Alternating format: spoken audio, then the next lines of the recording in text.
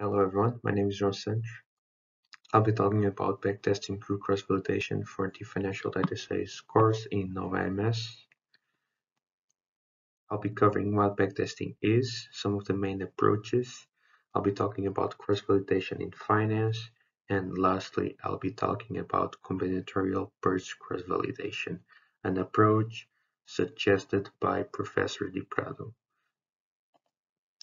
So what's backtesting in finance? Uh, first of all, there are two main approaches that one can take uh, to perform a backtest. You can either take in take past observations and perform a walk-forward approach, or you can use these past observations to simulate scenarios that did not happen.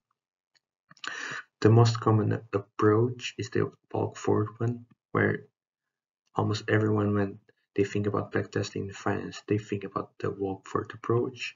It's pretty simple. You have a strategy. Uh, let's say you want to buy if it's above a certain moving average or whatever, and you move back in time and you implement that strategy like it's um, trading on paper and see what would be the result of that uh, specific strategy. Uh, the interpretation is pretty simple. You just you can just look at the, the end result of, of the strategy, you can see what's your PNL and whatnot. Uh, if the right methods are being applied to the data, if you're purging the data, there won't be data leakage problems from the training set to the data to the testing data set. Um, the other way, which is less used, which is less common, is to test different strategy or to test a strategy um, in a scenario that it was not trained for.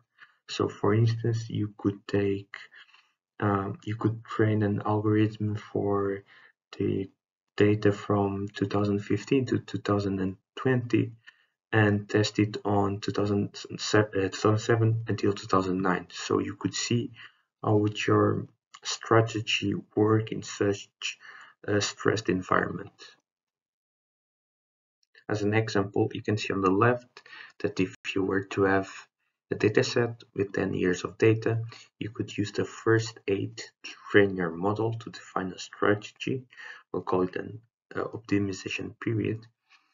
And then with that, that strategy defined, you could use the last two years, which were left out, um, to test your strategy. You do a walk-forward approach day by day, month by month, year by year, and see what would be your end result, what would be your end PNL. And then you could assess kind of the um, effectiveness of the strategy.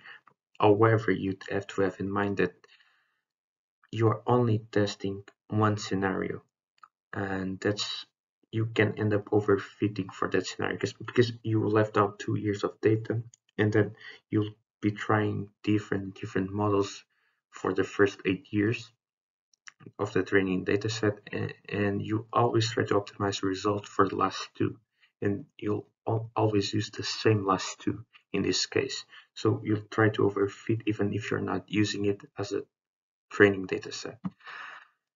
It might not be really indicative of future performance um, because it can be if if in the next five years, let's say we have a, a really big bull market, your uh, strategy, which was already biased for bull market, maybe uh, will perform extremely well. But if it's not a bull market, if it's a bear market, then it will fail. So you always have to take that into consideration. The, the next data points that will show up um, might be too different or too far um, too similar from your training dataset and then results might end up being um, might end up being biased. Lastly, uh, because you're taking decisions because of your testing set, which is only um, two years of, of data when you have 10 years in total, um, you're actually using a small portion of the dataset to take decisions. So that might not result in the best decisions. Another approach to backtest your strategy would be to use cross-validation. Uh, for cross-validation, we first have to define how many folds we want to have. In this case, let's say that we want to have five folds, and let's say as well that we are using the, the same data set as before, so a 10-year data set. We would divide it into five identically sized data sets, so two years each. And then if you look at on the left of, of the slide, uh, you'd always take out the, the blue square and train your data on the remaining gray squares. And you would do this five times, always with a different square that's going to be left out. And then the result of the model will be the average of the results of each um, each iteration individually. This technique guarantees that we are not optimizing for a, single data set, testing data set, I mean, um, but for the entirety of the data set in a different way. As any approach, cross-validation has a set of advantages and disadvantages. The first advantage is that you're testing um, different historical scenarios and not just one, and that prevents overfitting. The second advantage is that you're using equally sized datasets for every decision that you make. Thus, your decisions are based in comparable uh, datasets in terms of the amount of information that each has. Lastly, as an advantage, data points are exclusive to a single testing set, and each data point is used both for training and testing in different situations. So your out of sample data is actually the whole data set.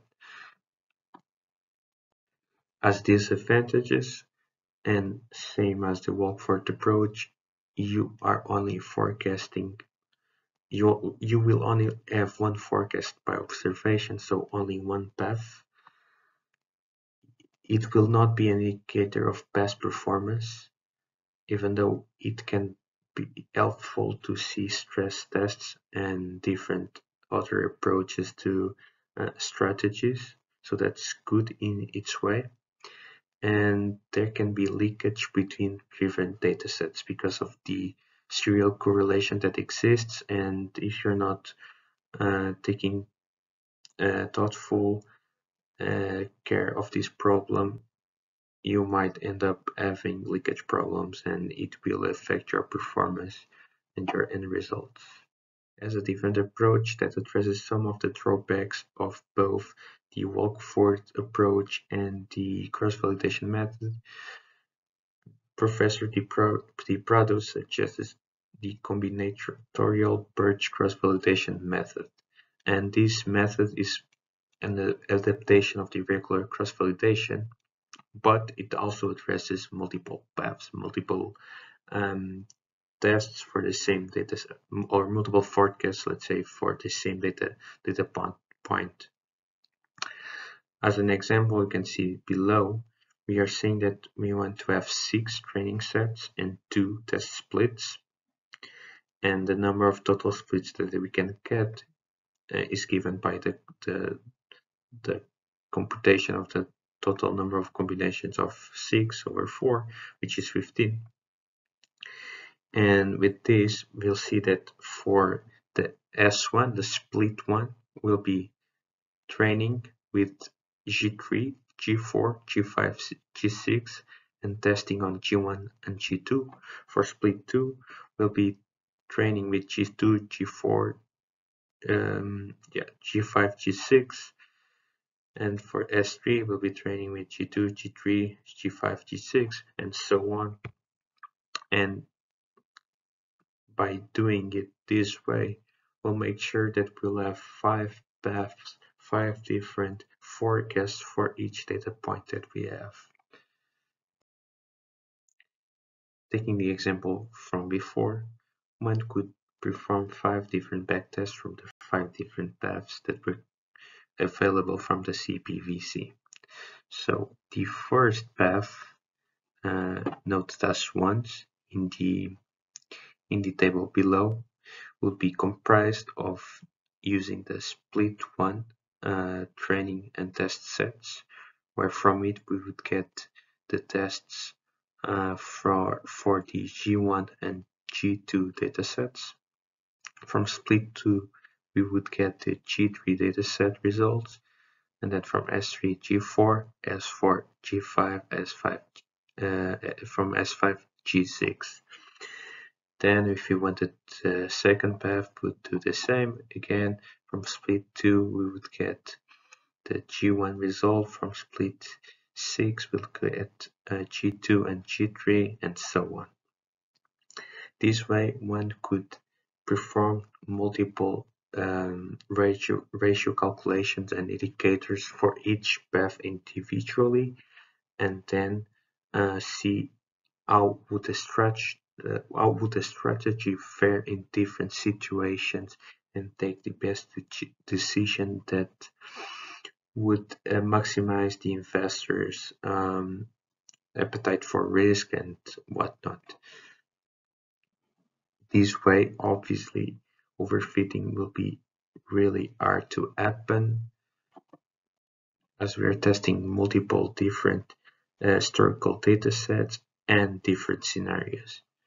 So it would be really hard to optimize a single scenario that would overfit to, to the real data.